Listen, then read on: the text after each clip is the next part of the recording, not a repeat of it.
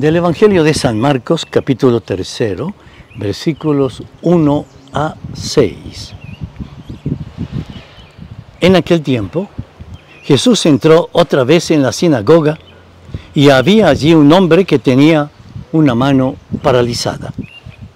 Lo estaban observando para ver si lo curaba en sábado y acusarlo. Entonces le dice al hombre que tenía la mano paralizada, levántate y ponte ahí en medio. Y a ellos les pregunta, ¿qué está permitido en sábado? ¿Hacer lo bueno o lo malo? ¿Salvarle la vida a un hombre o dejarlo morir? Ellos callaban, echando en torno una mirada de ira y dolido por la dureza de su corazón, dice al hombre, extiende la mano. La extendió y su mano quedó restablecida. En cuanto salieron, los fariseos se confabularon con los herodianos para acabar con él. Palabra del Señor. Gloria a ti, Señor Jesús.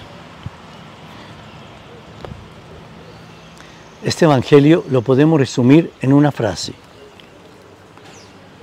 Todo es posible con Jesús. Sí, todo es posible. Estás enfermo, Jesús puede sanarte.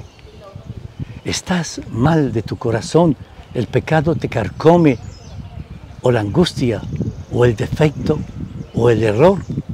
Jesús puede sanarte. Él puede entonces decirme, extiende tu mano, déjate palpar por mí, deja que yo te conduzca, extiende tu mano y déjate conducir por mí. Y el camino, por tortuoso que sea, se hará tan inmensamente bello.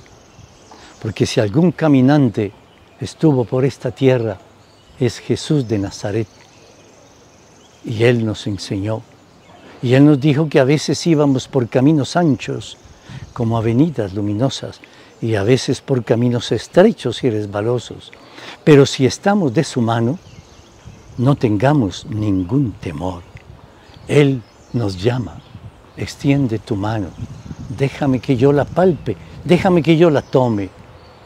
No seas arisco, deja que yo pueda asirte, tomarte y conducirte. Y si tú te dejas conducir, estarás entonces experimentando que al calor de mi amor, al calor de mi mano, tú recobras vida, tú recobras fuerza y el horizonte de la existencia se abre de una manera maravillosa para ti. Sí, Señor, te extiendo la mano.